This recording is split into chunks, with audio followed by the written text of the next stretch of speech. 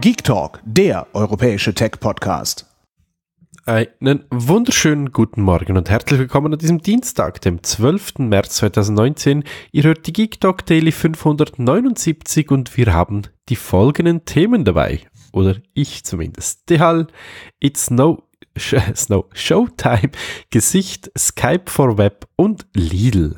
Ich beginne gleich mit DHL und die haben für Privatkunden im letzten August, September ein äh, Angebot rausgehauen, wofür sie und wo sie gegen die Schweizer Post angingen. Das heißt, man konnte auch als Privatkunde Pakete über DHL an private Leute oder an Firmen schicken. Das heißt, man durfte sich im Web ein Ticket ausdrucken lassen, also eine Karte, äh, wie sagt man dem, so ein Label, das man dann auf ein Paket klebte, dann ein, bei äh, DHL vorbeibringen und schlussendlich wurde das dann ausgeliefert. Beworben wurde das, dass es nicht erst am nächsten Tag, sondern auch bis um mit 20 Uhr ankommt. Also somit, ähm, ja, halt ein bisschen schneller.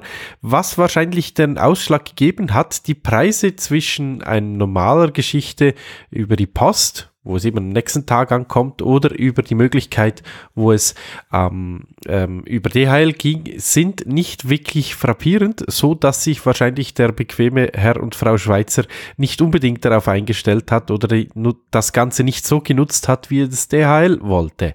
Denn der Dienst wird oder wurde jetzt ab sofort eingestellt. Die dazu extra ins Leben gerufene dhlparcel.ch Domain ist schon abgeschaltet und oder besser gesagt umgeleitet und wird man wird mittlerweile auf die DHL Express Seite geschickt. Da ist das Ganze dann ein bisschen wenn nicht sogar deutlich teurer und somit für Privatkunden nicht mehr lukrativ. Für das muss man dann schon eben im Business sein, also eine Firma sein und eine gewisse Anzahl an Pakete versenden, damit da die Preise auch wieder interessant werden.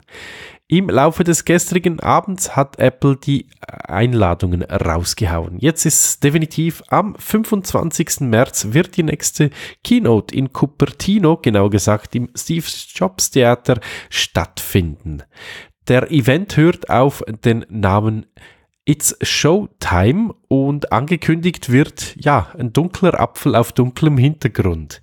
Wir dürfen gespannt sein, was da alles zu sehen sein wird, ob auch Hardware mit dabei sein wird, wissen wir nicht, wissen wir erst, wenn es, wie immer bei Apple, wenn das Event da ist.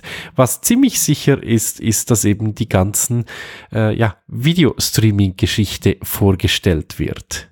Wir halten euch auf jeden Fall auf dem Laufen. Zum einen hier natürlich im Daily, aber auch im großen Newsformat, wenn wir dazu was wissen. Und ja, bitte macht euch die Gefallen und lest die nächsten zwei, doch, doch zwei Wochen nicht die ganzen ähm, ja, Gerüchte-Seiten, weil da, die werden sich jetzt noch mehr überschlagen, als sie das bis jetzt schon getan haben mit den ganzen News darum. darum. Samsung Galaxy S10, das neue Smartphone-Flaggschiff aus dem Hause Samsung. Ja, das hat ein Problem anscheinend, denn die Gesichtserkennung schwächelt wie schon bei den Vorgängermodellen. Es soll anscheinend möglich sein, da gibt's Videos im Netz dazu, dass man mit einem einfachen Foto das Ganze entsperren kann. Es gibt auch Geschichten, wo Brüder untereinander das Telefon gegenseitig sich freischalten konnten und solche Geschichten sind natürlich dann nicht ganz so toll würde ich doch sagen. Von dem her eigentlich nicht mal ganz so schlecht, dass da auch ein Fingerabdruckscanner drunten ist. Und bei den großen beiden Modellen ist das sogar nicht nur ein, ein einfacher Fingerscan, sondern einer, der über Schallwellen geht. Das ist dann deutlich sicherer als eben diese 2D-Erkennung. Als Vergleich zum Beispiel das Face ID beim Apple iPhone und beim iPads logischerweise. Das ist eine 3D-Gesichtserkennung und nicht nur eine 2D-Erkennung. Wir gehen weiter mit Microsoft und die stellen ein bisschen was ein. Wer Skype nutzt, kennt es vielleicht oder auch nicht.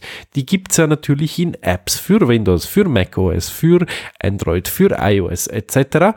Und es gibt auch eine Webversion. Wer also einen Rechner hat, wo das eben, äh, wo er vielleicht nichts installieren kann oder darf, wie auch immer, der kann das Ganze über das Web nutzen.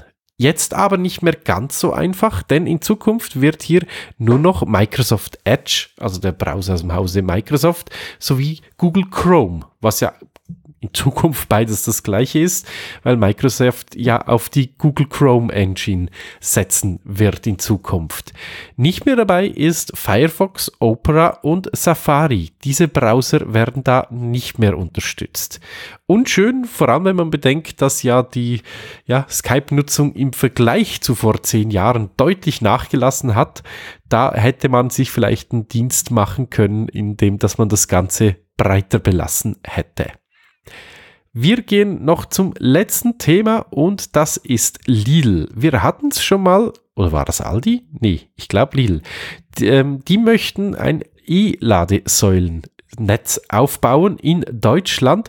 Genauer gesagt, bis und mit 2020, im März 2020, will man 400 E-Ladesäulen quer über Deutschland verbaut haben. Im Schnitt sind das zwei Ladesäule pro Filiale, womit dann zwischen den ganzen Filialen maximal 50 Kilometer Distanz von einem bis zur nächsten Ladesäule kommt. Somit sollten ja so ziemlich alle deutschen E-Mobilitätslösungen auch abgedeckt werden. Gut, die haben ein bisschen mehr, glaube ich 100 Kilometer oder 200. Auf jeden Fall dürften die ein bisschen mehr haben, aber die Idee finde ich toll das sollten mehr ähm, ja, Firmen und oder Läden tun und es sollte Lille, da sie ja schon die Schweiz verschandeln mit ihren lustigen Filialen, auch hier umsetzen, weil auch das können wir gebrauchen für all diejenigen, die kein Tesla fahren und da andersweitig auf Möglichkeiten zu, zu der Stromsuche angewiesen sind. In diesem Sinn, das waren es die Themen, die ich heute für euch bereit hatte. Ich würde mich freuen, wenn ihr auch morgen am Mittwoch wieder dabei seid, sind, seid, sind, ja, Deutsch. Morgen früh. Ich wünsche euch einen schönen Tag, viel Erfolg, vor allem auch äh, in der Rechtschreibung, die ich nicht so beherrsche. In diesem Sinne, euer Pokipsi. Bis dann. Tschüss. Hört mehr Geek Talk.